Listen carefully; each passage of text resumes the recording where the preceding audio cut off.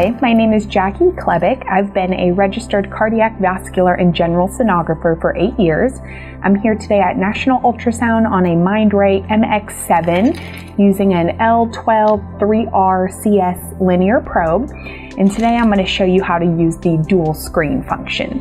So we are in the lower extremity arterial preset. I'll go and find my posterior tibial artery.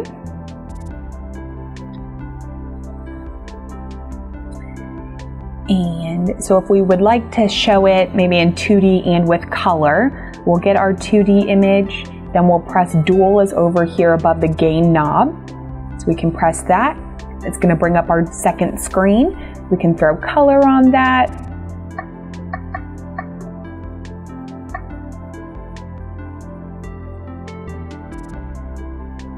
We can freeze that. And if we want to toggle back and forth between the two screens, say we want to update the first one, hit dual again.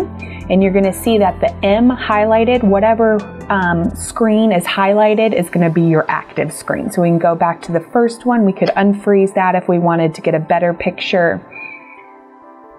And we can save that.